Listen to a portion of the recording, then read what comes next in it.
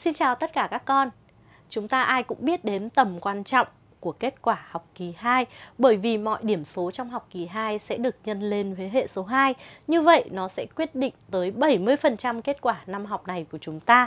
À, để chuẩn bị uh, cho một cái kết quả thật tốt thì chúng ta cần phải lên kế hoạch cho việc ôn thi học kỳ 2 sắp tới bằng cách là các con sẽ phải rèn luyện lại toàn bộ các phần bài tập cũng như tổng hợp lại các phần lý thuyết trọng tâm cho học kỳ 2.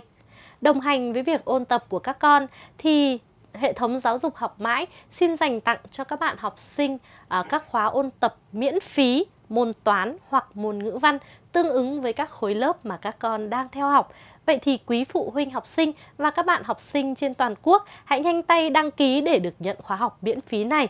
Thời gian bắt đầu sẽ là từ ngày 12 tháng 3 năm 2019 đến ngày 11 tháng 4 năm 2019. Các bạn hãy nhanh tay đăng ký nhé!